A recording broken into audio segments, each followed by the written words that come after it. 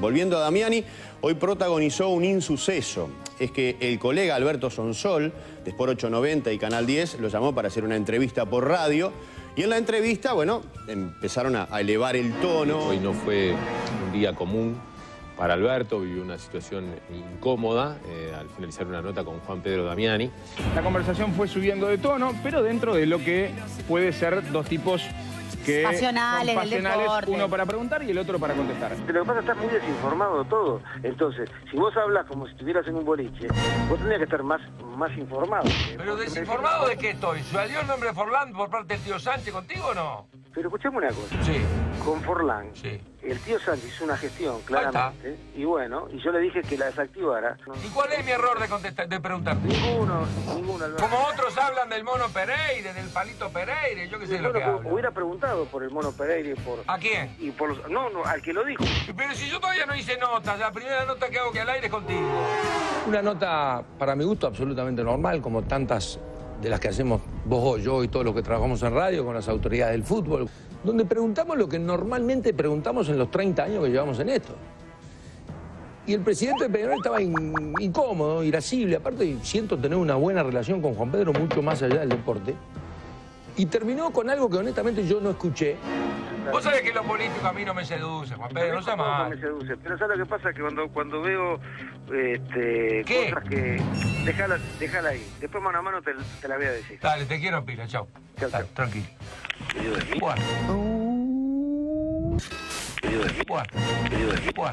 Soy tan orgulloso de ser uruguayo como de religión judía. Oh. ¿Soy claro?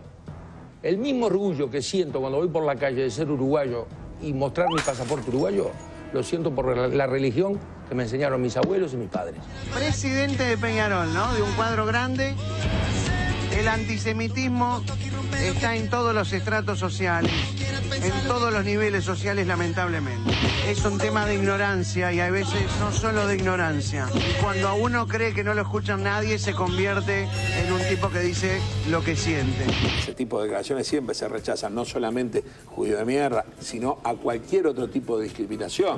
Por un lado soy socio vitalicio de Peñarol, por otro lado soy el presidente del Comité Central Israelita, por otro lado soy amigo y compañero de Sonsol de, de radio y de televisión de toda la vida. O sea, es como que eh, me, tocó estar Todas las flechas apuntaban hacia vos. Exactamente. Que Damiani es un tipo propenso, se ve a la personalidad, a veces lo avasalla. ¿Recuerdan ustedes en un partido eh, de Peñarol donde se terminó, eh, pasó, tuvo que pasar por, por las tribunas y un hincha le increpó algo del estadio y le pegó una piña y después curiosamente alega, no, pasa que yo soy Tano, y los Tanos somos así, ¿no? Un parcial carbonero recriminó a Juan Pedro Damiani y el presidente reaccionó duramente. Somos los dos calentones, ¿no? Calabreses. Eh, eh, a veces uno no está dispuesto a, a, soportar eh, insultos que sos bueno o mal dirigente, sí, pero cuando se entra la parte moral este, no estoy dispuesto y bueno, simplemente pasó eso, cosas del fútbol que suelen pasar y que lamentablemente eh, hay que dejarlas pasar. Por la misma frase, dicha por un Twitter interno, el periodista Julio César Gar fue despedido por Gorsi este, de, su tarea después de 20 años juntos. Por la misma, por la misma frase. Empieza con una discusión de Julio César Gar con otro usuario de esta red social. La persona que discute con Julio César Gar lo captura, captura esa imagen y la publica para que la vea todo el mundo. Bueno, le dice judío de M, ¿por qué no te vas a, bueno, la red. de tu mano? Ahí está. obviamente esto se transformó en, un acto xenofóbico. Tuve un, eh, un periodista de la hora de los deportes eh, fue echado de la hora de deportes. Esa fue la gota que rebasó el vaso. Ya con ese periodista habíamos tenido 3.000 problemas, eh, habíamos tenido juicios y conflictos con un montón de colectivos, desde los psicólogos. Yo conozco psicólogos que salen con homosexuales, conozco psicólogos que se drogan, mm. conozco... ¿Y qué tiene que ver eso? No, no, está. Pero entonces, ¿de qué, psicología estamos hablando? De los psicólogos, los deportólogos, los médicos. Habíamos tenido lío con todo por declaraciones que le hacía y la que le faltaba era esa yo quiero rescatar lo, bueno de toda esta historia. ¿Sabe qué es lo bueno?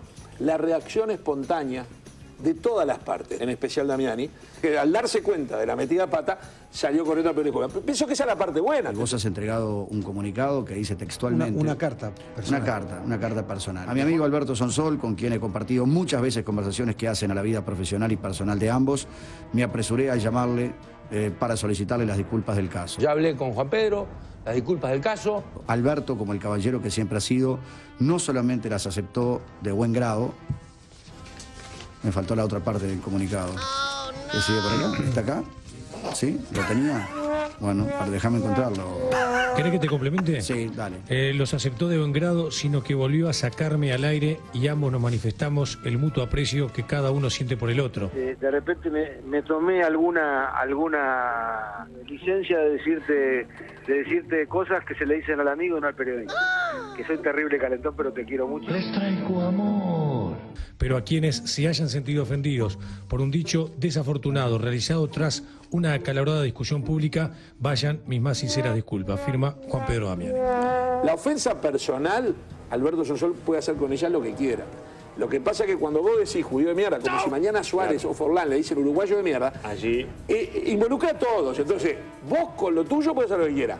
En el caso mío, como presidente del colectivo, tengo que, este, no puedo perdonar en nombre de otro. Estamos de acuerdo que ese tipo de comentarios no hay que hacerlos ni con la cámara prendida, ni con el micrófono Por prendido, ni en la vida particular, en ningún Totalmente. momento, ni en la intimidad. De más está decir que repudiamos cualquier eh, discriminación que, que pueda darse en, en- en el ser humano, ¿no? Y en este caso no, no la dejamos de lado tampoco.